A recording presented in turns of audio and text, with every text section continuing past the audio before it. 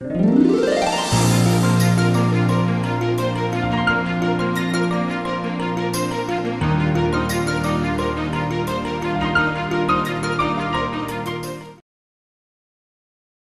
मंडळी मी अतुल परचुरे. आता राजकारण म्हटलं की आपल्या जनसामान्यांच्या कपाळावर आठी येते. काही मूठभर भ्रष्ट राजकारण्यांमुळे राजकारण बदनाम झालं आहे पण आपण हा विचार कधीच करत नाही की राजकारणाची जेवढी देशाला गरज आहे तेवढीच आपल्यासारख्या सामान्यांनाही गरज आहे. आणि ही गरज फार सुसह्य होऊन जाते. जेव्हा जयकुमार भाऊंसारखा सर्वसामान्यांच्या गरजांना आपल्या मतदारसंघाच्या विकासाला प्राधान्य देणारा आपला माणूस राजकारणात येतो. जयकुमार भाऊ म्हणजे राजा माणूस. जन्मानं आणि मनानं सुद्धा. एवढ्या मोठ्या राजेशाही आणि श्रीमंत परिवारात जन्माला येऊन सुद्धा भाऊंची नाळ जनसामान्यांशी कायम जुळलेली. सेवाभाव मनात रुजलेला आणि म्हणूनच ते राजकारणात आले. जन्मानं मिळालेली गडगंज संपत्ती आणि कर्तृत्वाने मिळालेली सत्ता असून सुद्धा जयकुमार भाऊ म्हणजे स्वच्छ चारित्र्याचा निर्व्यसनी आणि पवित्र मनाचा माणूस. स्वच्छ राजकारण म्हणजे काय हे समजण्यासाठी आपल्याला जयकुमार भाऊंच्या कर्तृत्वाचा आढावा घेतलाच पाहिजे. राष्ट्रभक्तीची ओढ भाऊंमध्ये लहानपणापासूनच असल्यामुळे भाऊंनी विद्यार्थी दशेत एन सी सीचं कॅप्टन पद भूषवलं. सव्वीस जानेवारी रोजी होणाऱ्या परेडचं देखील त्यांनी कायम नेतृत्व केलं. खिलाडू वृत्ती अंगी असल्यामुळे लहानपणी मॅरेथॉन स्पर्धेत भाग घेऊन भाऊंनी सुवर्ण पदक देखील मिळवलंय. जयकुमार भाऊंचं उच्च शिक्षण विदेशात झालं या ठिकाणी देखील भाऊंनी आपले नेतृत्व गुण सिद्ध केलेत. आपल्यावर दीडशे वर्ष राज्य करणाऱ्या इंग्रजांच्या विद्यापीठात भाऊंनी आशिया खंडातील विद्यार्थ्यांना एकत्र करून विद्यापीठ प्रतिनिधी म्हणून निवडणूक लढवली आणि जिंकूनही आले. या निमित्तानं भाऊंनी शिंदखेड्याचं पाणी ब्रिटिशांनाही दाखवून दिलं. आमदार झाल्यावर सुद्धा भाऊंनी मातृभाषेचा गौरव म्हणून आमदार पदाची शपथ अहिराणी भाषेत घेतली आणि आपल्या मातीचा सन्मान वाढवला. मी शपथ लेस की जे काय मी करसू ते महाराष्ट्रांना हितमा करसू. खानदेशना हितमा करसू आणि लोकेशना हितमा करसू.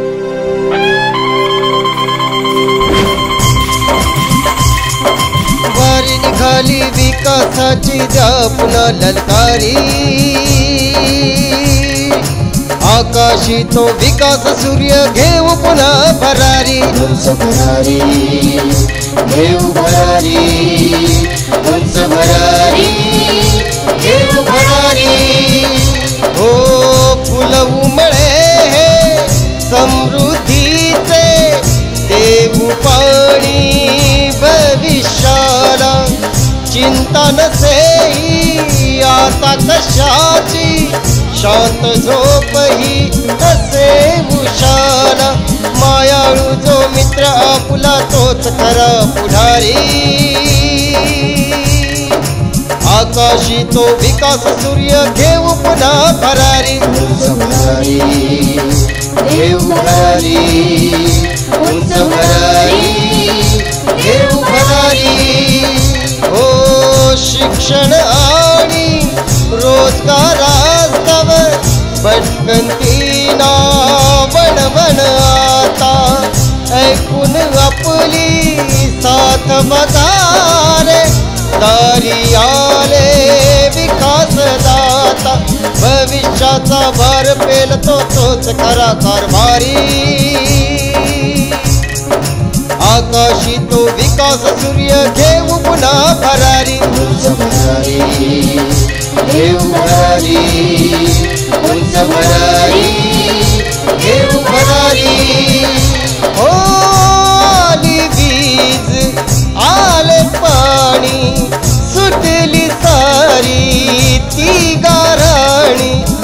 हवा हवाचा बदल घडला, दाबून ही कमळ निशाणी दाबून ही कमळ निशाणी विजयाच्या त्या जयघोषाची करू पुन्हा तयारी।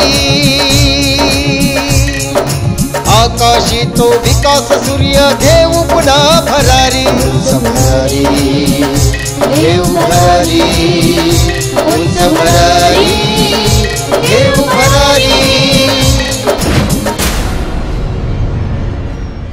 विकास कामांचा जयघोष वारंवार व्हायलाच पाहिजे नाही का? त्याशिवाय इतरांना प्रेरणा कशी मिळणार? आपला देश हा विकसनशील देश म्हणून ओळखला जातो. त्यामुळे विकास कामांना प्राधान्य देणारे लोकप्रतिनिधी विधानसभेत असलेच पाहिजेत. विकास हा एकांगी नाही तर बहुमुखी असायला पाहिजे. समाजातल्या प्रत्येक थराला विकासाची संधी मिळाली पाहिजे. आणि जयकुमार भाऊंच्या कामातनं वारंवार हेच दिसून येतं.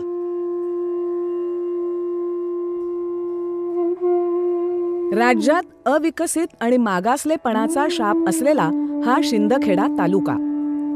पूर्वी शहादा आणि धुळे अशा दोन तालुक्यांमध्ये विभागलेला होता. विभाजनामुळे दोन्हीही मतदारसंघांकडून या भागाला सतत सावत्र असल्यासारखी वागणूक मिळत होती. आणि त्यामुळे या भागाचं मागासलेपण अधिकच वाढत गेलं. जयकुमार भाऊंना याची कायम खंत होती. मतदारसंघाची पुनर्रचना होत असताना भाऊनी प्रयत्नांची शिकस्त केली आणि एक तालुका एक मतदारसंघाचं महत्त्व दिल्ली दरबारी पटवून दिलं. या भगीरथ प्रयत्नातूनच शिंदखेडा मतदारसंघाची निर्मिती झाली आणि भाऊंच्या रूपानं विकास पर्व सुरू झालं. आजचा युवक म्हणजे देशाचं भविष्य. पण हाच युवक शिक्षणाच्या संधीपासून ते रोजगाराच्या उपलब्धतेपर्यंत अनेक समस्यांनी त्रस्त आहे. त्याला चांगल्या शिक्षणाची गरज आहे आणि रोजगार हवा आहे. पण तुम्हाला सांगतो जयकुमार भाऊंसारखे जनप्रतिनिधी जिथे असतात तिथे असल्या समस्या फार काळ टिकत नाहीत. शिंदखेडा मतदारसंघात उच्च शिक्षणाच्या उपलब्धतेची गरज लक्षात घेत दोंडायच्या इथे जयकुमार भाऊंच्या प्रयत्नातून उच्च आणि तंत्र शिक्षणासाठी दादासाहेब रावल नॉलेज सिटीची स्थापना केली आहे. एकशे चाळीस एकर जागेत उभारण्यात येणाऱ्या या भव्य शिक्षण संस्थेत engineering polytechnic D Ed B Ed M Ed B S C कृषी महाविद्यालय M S C I T I nursing असे सर्व प्रकारचं शिक्षण उपलब्ध केलं आहे. बघा एक कॉलेज सुरू झाल्यानंतर विद्यार्थ्यांची पायपीट वाचली की नाही? म्हणजे उच्च शिक्षणासाठी बाहेर जायची गरजच राहिली नाही. म्हणजे इथे उच्च शिक्षण उत्तम मिळणारच शिवाय वेळ आणि पैसा हे दोन्ही वाचतं. म्हणजे तोच वेळ विद्यार्थी अभ्यासात वापरू शकतात. उत्तम अभ्यास करून शेतीचं उत्पादन वाढवून प्रगती साधू शकतात. अहो शेवटी विकास विकास म्हणजे दुसरं काय?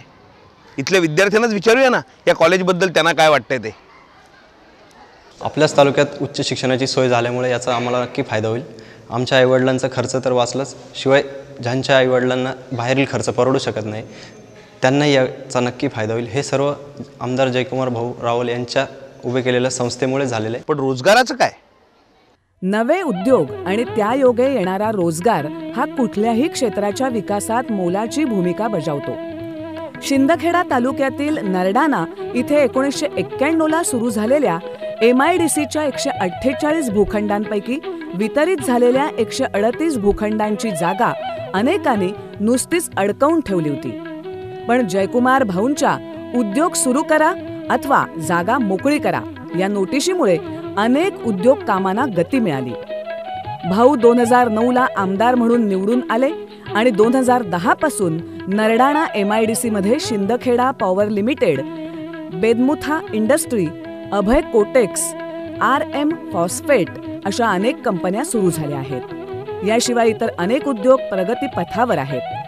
चार हजार कोटींची गुंतवणूक अपेक्षित असलेल्या या उद्योगातून दोन हजार स्थानिकांना रोजगार प्राप्त झाला असून नजीकच्या भविष्यात हा आकडा दहा हजारापर्यंत जाईल. एवढी मोठी गुंतवणूक असलेल्या उद्योगात केवळ अल्पशिक्षितांना किंवा तांत्रिक शिक्षण घेतलेल्याच नव्हे तर उच्च शिक्षितांना सुद्धा रोजगार मिळेल. यालाच म्हणतात सर्वांगीण विकास. आता राहिला तो जगाचा पोशिंदा. म्हणजे मातीतून सोनं पिकवणारा आपला शेतकरी. आपला शेतकरी आणि त्याच्या समस्यांना तर अंतच नसतो. म्हणजे शेतकरी आणि त्यांच्या समस्या हा आपल्या भागातला कळीचा मुद्दा आहे. पण जयकुमार भाऊंसारख्या कार्यतत्पर माणसांनी त्यात लक्ष घातलं की त्या समस्या पटापट सुटताना दिसतात. शिंदखेडा तालुका म्हटलं की कायम दुष्काळ आणि पाणी टंचाई या भागाच्या पाचवीलाच पुजलेली. सिंचनाच्या फारशा सोयी नसल्यानं कायम निसर्गावर अवलंबून असलेली इथली शेती आणि तेवढंच या भागातील नागरिकांचं जीवनमान. वर्षानुवर्ष अशा परिस्थितीत जगणाऱ्या नागरिकांना मात्र जयकुमार भाऊंच्या रूपानं एक सच्चा सोबती भेटला जो या भागाच्या सिंचनाचं स्वप्न बघत होता. नव्हे तर ती पूर्ण करण्यासाठी धडपडतही होता. भाऊंनी आपल्या राजकीय कारकिर्दीत सुरुवातीपासूनच सिंचनाला महत्त्व दिलं. सारंगखेडा बॅरेज अमरावती प्रकल्पासाठी लढा दिला. प्रसंगी भर उन्हाळ्यात मालपूर ते विखरण या गावादरम्यान बैलगाडी मोर्चा देखील काढला. आज पूर्णत्वास येत असलेले हे प्रकल्प भाऊंनी केलेल्या संघर्षाची साक्ष देत आहेत. भाऊंच्या अथक प्रयत्नांमुळे आज आपल्या मतदारसंघातील चाळीस टक्के शेती सिंचनाखाली आली आहे. परंतु भाऊंचं स्वप्न अजूनही अपूर्ण आहे. येणाऱ्या काळात शंभर टक्के भाग सिंचनाखाली आणल्याशिवाय स्वस्थ बसणार नाही हा भाऊंनी संकल्प केलाय. शिंदखेडा तालुका हा दुष्काळग्रस्त असणारा तालुका. याला संपूर्ण बागायत करण्याचा संकल्प मी केला. आणि आज आमच्या ज्या महत्त्वाकांक्षी योजना आहेत तापी बुराई असेल किंवा मग सुलवाडे जामफळ असेल या दोघंही महत्त्वाच्या योजनेला मी चालना देण्याचा प्रयत्न केला. अजून खूप काम बाकी आहे. पण सुदैवाने नरेंद्र मोदीचं सरकार आता दिल्लीमध्ये आपलं सरकार आलं आहे आणि म्हणून पुढच्या काळामध्ये पूर्ण करण्यासाठी आपल्याला कुठली अडचण येणार नाही. या योजना जर झाल्या आपल्या तालुक्यामध्ये सारंगखेडा सुलवाडे प्रकाशा अमरावती वाडी आणि याच्या माध्यमातून वाडी बुराई सुलवाडे जामफळ ह्या योजना जर पूर्ण झाला तर शिंदखेडा तालुका शंभर टक्के बागायत होणार आणि संबंध महाराष्ट्रामध्ये प्रगतिशील तालुका म्हणून आपल्या तालुक्याची ओळख होईल याचं समाधान पुढच्या काळामध्ये तुम्हा आपल्या सगळ्यांना वाटणार आहे. वाडी शेवाडी या महत्वाकांक्षी प्रकल्पातून तीनशे साठ लक्ष घनमीटर एवढा जलसाठा उपलब्ध होणार आहे. या प्रकल्पातील धरणं आणि कालव्याचं काम स्वर्गीय द. वा. अण्णा पाटील आणि ठाणसिंग जिभाऊ यांच्या कार्यकाळात पूर्ण झालंय. या प्रकल्पाच्या एकोणीस किलोमीटर लांब असलेल्या आणि तालुक्यातील अनेक गावातून जाणाऱ्या उजव्या कालव्याची मंजुरी रावल साहेबांनी मिळवून दिली.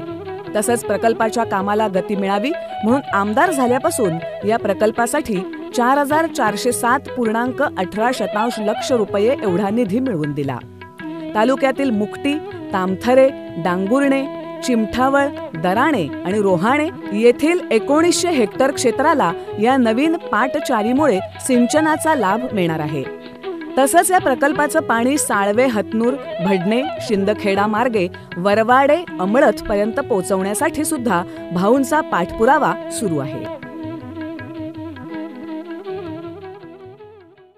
पाणी भरल्यामुळे मला एकरी कम से कम अकरा ते बारा क्विंटल उत्पन्न झालं आणि त्याच्यामुळे जो शेतकऱ्या माझ्या मी माझ्या गावातल्या बाकी आजूबाजूच्या एरियाच्या लोकांना जे उत्पन्न भरपूर निघालं यावर्षी त्याच्यात सर्व शेतकऱ्यांना जी बचत राहत नव्हती ती बचत राहिली.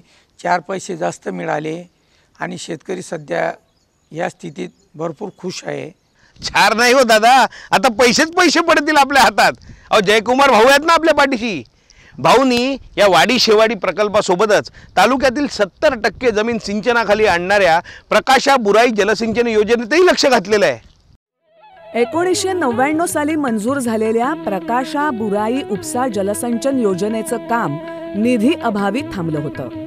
नंदुरबार साक्री आणि शिंदखेडा अशा तीन तालुक्यातील गावांना सिंचनाखाली आणणाऱ्या या प्रकल्पाचं काम सुरू करून ते वेळेत पूर्ण करण्यासाठी जयकुमार भाऊंनी दोन हजार बारा तेरा या काळात या प्रकल्पासाठी अठ्ठावीस कोटी रुपयांचा निधी मिळवून दिला. चालू वर्षात या प्रकल्पासाठी त्यांनी नऊ पूर्णांक दहा कोटी रुपयांचा निधी मिळवून दिलाय. याशिवाय जवळपास दीडशे साठवण बंधारे भाऊंनी मंजूर करून घेतलेत. त्यातील काहींचं काम देखील सुरू आहे. बंधारा बांधणार आणि तशाच बंधाराचा उपयोग आज सगळे विहिरी भरी घ्या. विहिरी भरल्यानंतर आज आमचं दोन तीन पायला बाजरी सुद्धा पिके नाही आता. लवणा काटणं यांकडे. त्यासाठी आज बी अशा मुया पिकाला लागून ते पट्टा भाजीपाला सगळा सर्व भाजीपाला जेव्हा लागल्या. तरी आम्ही जयकुमार भाऊ कुठा? नार्या बांधली निधी पाडी फिरीत नी गाठना पैसा खर्च करीन जयकुमार भाऊले. निवाडीला नशी एवढी आपला काही गाव आहे ना. दोन हजार आठच्या पंचायत समितीच्या निवडणुकीत बावीस पैकी एकवीस जागा जिंकत युतीनं एक हाती सत्ता प्रस्थापित केली. सत्ता एका पक्षाच्या हातात असल्यानं कामही चांगली झाली. पंचायत समितीच्या माध्यमातून तालुक्यात अनेक विकास कामं झाली आहेत. त्यामध्ये M R E G S योजनेअंतर्गत तालुक्यात पहिल्या टप्प्यात पंधराशे चाळीस तर दुसऱ्या टप्प्यात आठशे शेतकऱ्यांना विहिरी मंजूर करून दिल्या आहेत. त्यातील अनेकांचं काम पूर्णही झालंय. हा हे जे माझं क्षेत्र दिसतंय हे भाऊच्या प्रयत्नामुळे हे क्षेत्र दिसतंय. माझ्याकडे पहिले कोरडवाहू शेती होती काहीच पिकत नव्हतं. भाऊच्या प्रयत्नामुळे मला विहीर मंजूर झाली. आणि त्या विहिरीमुळे माझं हे सर्व हिरवगार क्षेत्र दिसतंय. हे अशाच भाऊने प्रयत्नामुळे बऱ्याच लोकांना क्षेत्र विहीर भेटल्यावर बघा बऱ्याच लोकांना. त्यांच्या पण त्या तसाच फायदा झालेला आहे. बहरणारी शेती आणि शेतकऱ्याच्या चेहऱ्यावरचं हास्य. हीच तर खासियत आहे आपल्या शिंदखेडा मतदारसंघाची. म्हणजे आपला लोकप्रतिनिधी त्याच्या कामात जागरूक असला की इतर कशाची चिंताच नसते? आपला माणूस असलेल्या भाऊंनी त्यांच्या कार्यातून हेच दाखवून दिलं आहे एवढं सगळं केल्यानंतर कुठला शेतकरी समाधानाने हसणार नाही?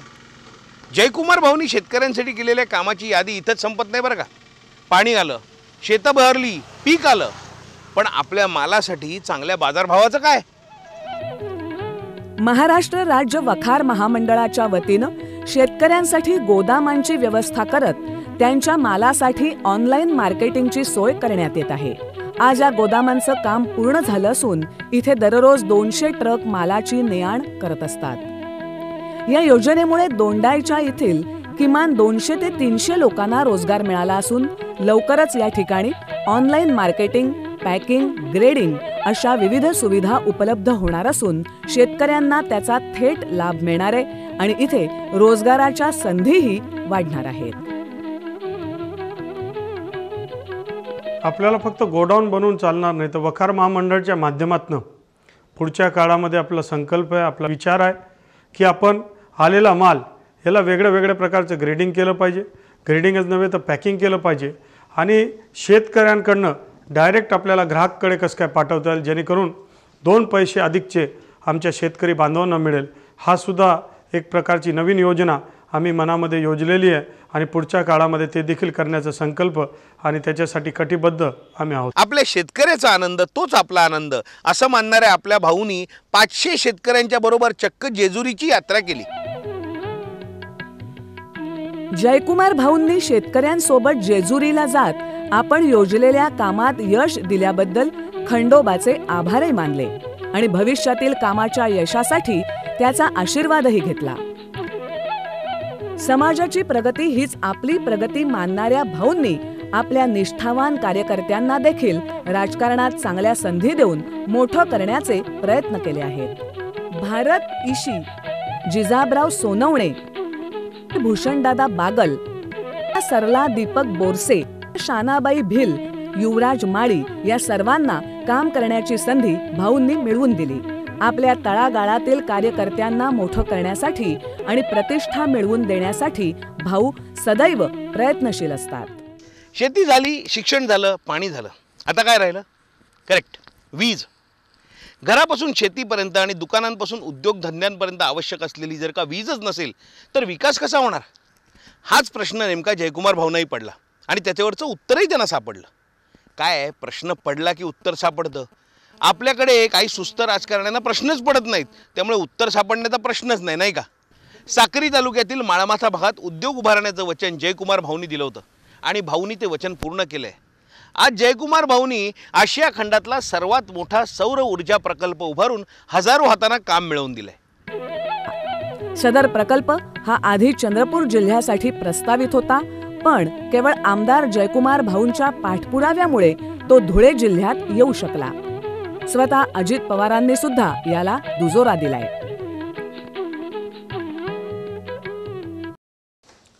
कुठल्याही क्षेत्राचा विकास व्हायचा असेल तर ऊर्जा त्याला लागतेच. आणि म्हणून आपल्या मतदारसंघामध्ये उ ऊर्जा यावी याच्यासाठी सातत्याने माझा प्रयत्न असतो. आपल्या माळमाथा प्रकल्पावर सोलारचं प्रकल्प यावं हे माझं स्वप्न होतं. आणि म्हणूनच हा सौर ऊर्जाचा प्रकल्प हा इथे आला. खरं तर सौर ऊर्जाचा प्रकल्प एशिया खंडातील सर्वात मोठा प्रकल्प आपल्या मागासलेल्या भागामध्ये झाला हे आपल्या सगळ्यांना अभिमानाची गोष्ट आहे. सौर ऊर्जा म्हणजे उद्याच्या ब भविष्यातील ऊर्जा आहे. सौर ऊर्जा ही कधी न संपणारी ऊर्जा आहे आणि म्हणून पुढच्या काळामध्ये आपल्याला घरेलू ऊर्जा वीज असेल शेतीसाठी वीज असेल औद्योगिकरणसाठी वीज असेल त्याची भरपूर अशी व्यवस्था या ऊर्जा प्रकल्पाच्या माध्यमातून झालेली आहे. पुढच्या काळामध्ये विकास करायचा असेल अनेक उद्योगांना चालना द्यायची असेल तर ही ऊर्जा आपल्याला कामात येणार आहे. आणि म्हणून भविष्याचा प्रश्न हा फार मोठ्या प्रमाणात या माळमाथ्या भागामध्ये संपला असं म्हटलं तरी चुकीचं होणार नाही.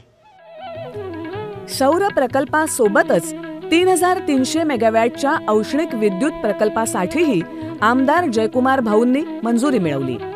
हा प्रकल्प आधी सोनगीर परिसरात उभारण्याचं ठरलं होतं. पण जयकुमार भाऊंनी या प्रकल्पासाठी विखरण मेथी परिसरातील जागा अधिक योग्य असल्याचं शासनाला कळवलं.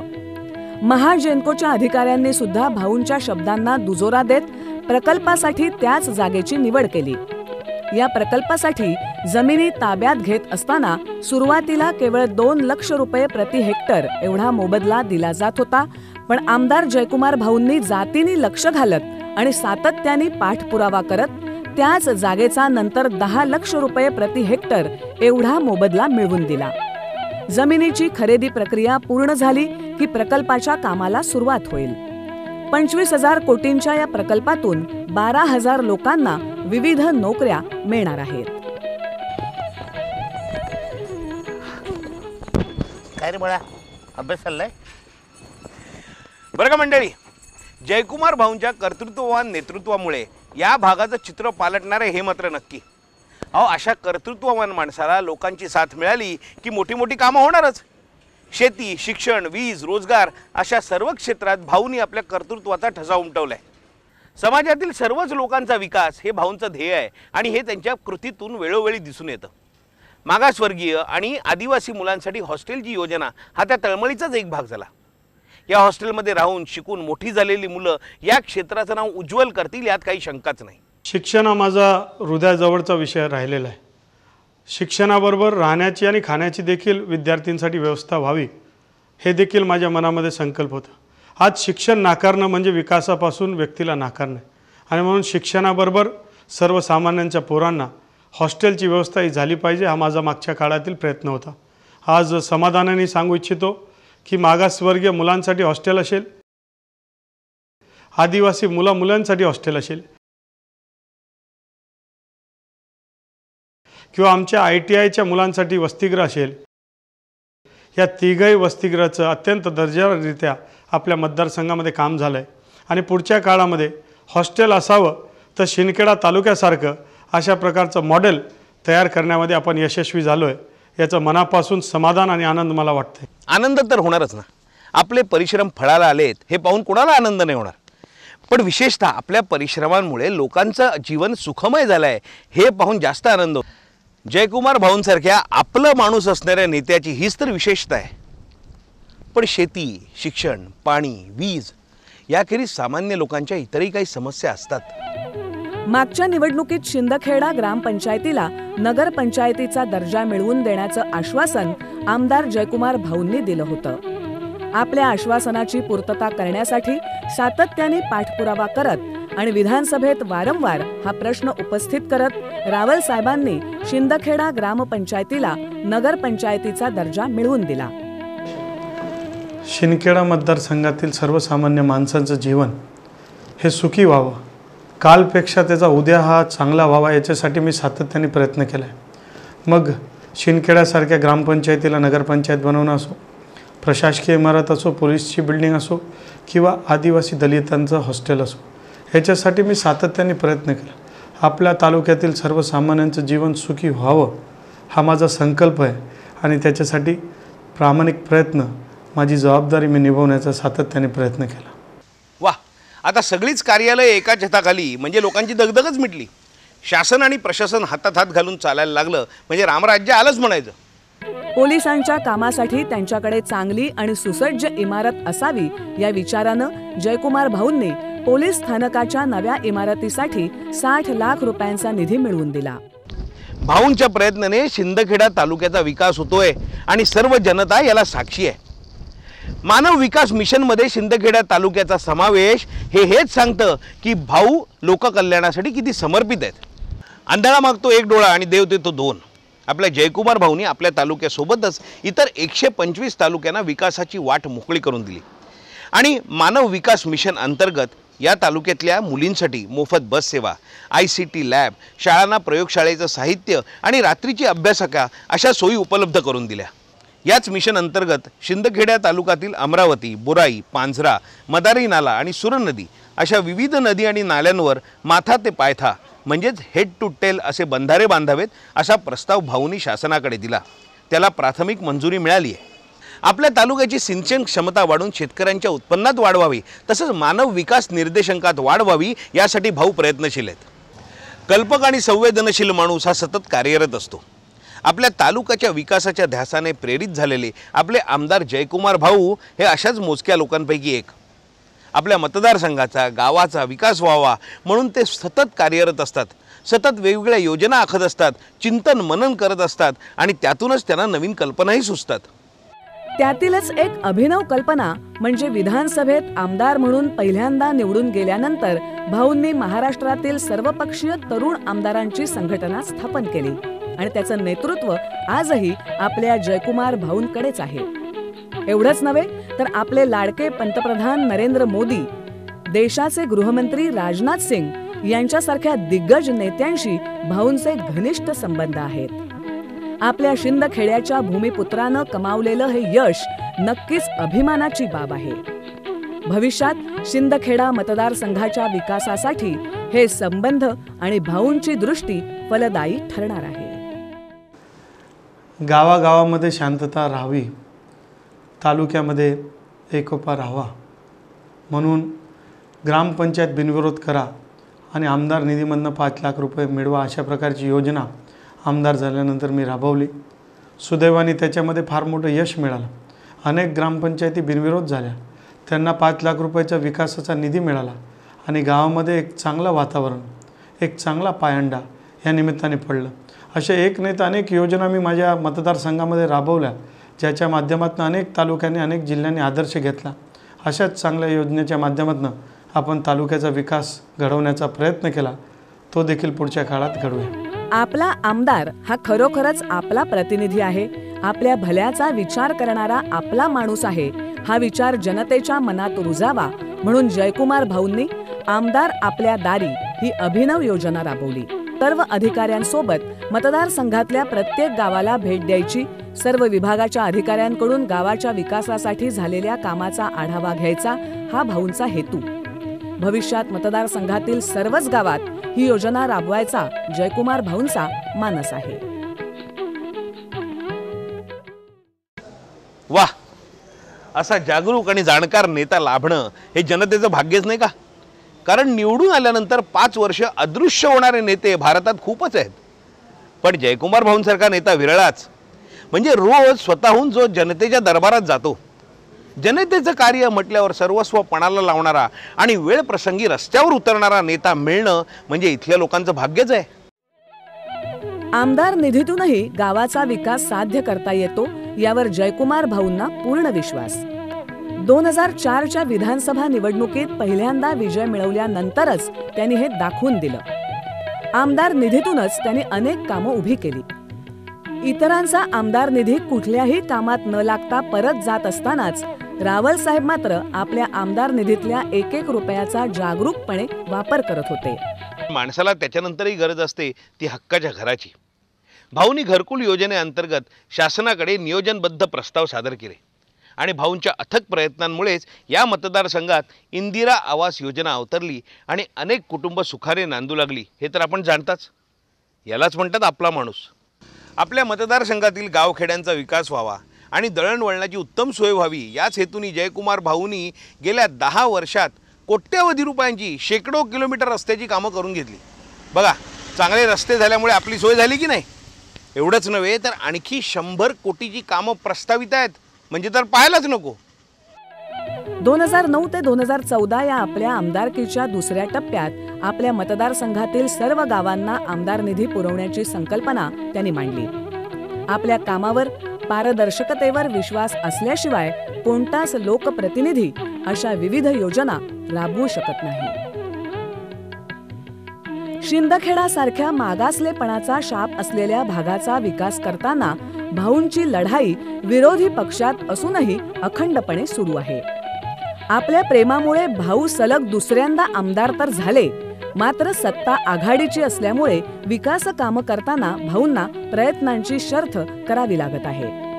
आपल्या भागात होणाऱ्या शेतकऱ्यांच्या आत्महत्या म्हणजे शासनाच्या नाकर्तेपणाचं प्रतीक आहे. पण येणारा काळ हा युती शासनाचा आहे. केंद्रात युती सरकार आलंय आणि राज्यातही युतीचंच सरकार येईल यात आता शंकाच नाही. भाऊंच्या मदतीनं आपली स्वप्न पूर्ण होणार आहेत आपले आदर्श नरेंद्र मोदी यांच्या खांद्याला खांदा लावून भाऊ विकासाचा हा शिवधनुष्य पेळण्यास सज्ज झाले आहेत. देश नहीं मिटने दूंगा मैं देश नहीं झुकने दूंगा.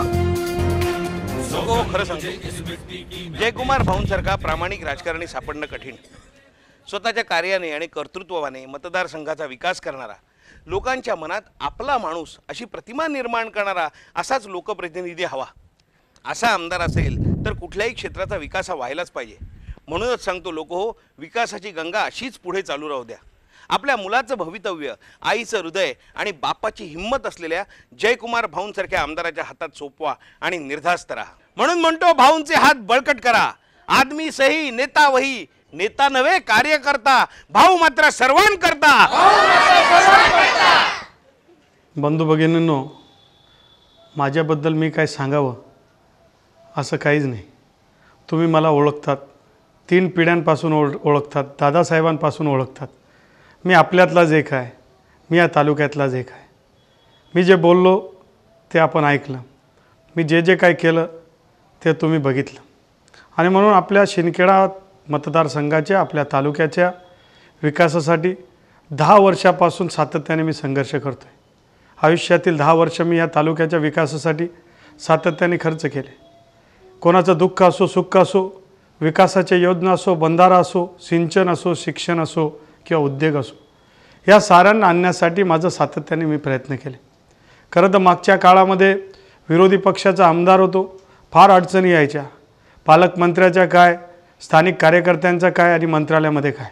परंतु आपल्या तालुक्याची बाजू ही ठामपणे मी मांडली. आपला आवाज विधानसभेमध्ये बुलंद केला. जिल्हाधिकारी कार्यालयामध्ये बुलंद केला. प्रसंगी मोर्चा काढला आंदोलन केले. आणि मग आपल्या तालुक्यामध्ये थोडीफार का होईना विकासाचे कामं मला आपल्यासमोर आणता आले. खरं तर उद्याचा काळ आपला आहे. उद्या चांगले दिवस येणार आहेत. नरेंद्र मोदीला जी साथ देऊन आपण पंतप्रधान बनवलं त्यामुळे या भारताचा इतिहास बदलणार आहे. आणि म्हणून आपल्या महायुतीचं सरकार उद्याच्या काळामध्ये येणार आहे. तुमचं आपलं सरकार आहे. जे स्वप्न आपण पाहिले शिंदखेडा तालुक्याला मजबूत करायचं शिंदखेडा तालुक्याला बलवान करायचं शिंदखेडा तालुक्याला बुलंद करायचं विकासाकडे न्यायचं ते सगळे स्वप्न आपल्याला पुढच्या काळामध्ये पूर्ण करायचे आहेत. आणि म्हणून हे स्वप्न घेऊन आता आपण पुढे निघालो. मला आपल्या सगळ्यांची साथ पाहिजे. कारण विकासाच्या अनेक गोष्टी आपल्याला करायच्या मग शेतकरी असतील गोरगरीब आपले मजदूर असतील किंवा बागायतीचा प्रश्न असेल विद्यार्थीचं शिक्षण असेल दोन हाताला काम असेल किंवा माता भगिनींसाठी काय असेल हे सगळं करण्याचा संकल्प हा सगळं करण्याचा निर्धार हे सगळं करण्याचं स्वप्न घेऊन मी निघालो आहे आपली साथ पाहिजे. आजवर मी हे कबूल करेल की सातत्याने कधी मागितली कधी हाक दिलं त्यावेळेस तुम्ही माझ्या पाठीशी उभे राहील. मला हिंमत देण्याचं मला ताकद देण्याचं काम आपण सातत्याने केल्याने म्हणून शिंदखेड्याचा आवाज हा बुलंद करू शकलो. आज धुळे जिल्ह्यामध्ये शिंदखेड्याचा आवाज बुलत हो बुलंद होत असताना शिंदखेडा तालुका प्रगतीपथावर चाललेला आहे. आणि या सगळ्यामध्ये आपले आशीर्वाद आपलं योगदान आपली मदत त्याच्यामध्ये आहे. मी आपल्याला विनंती करतो की आज काळ आपला आहे.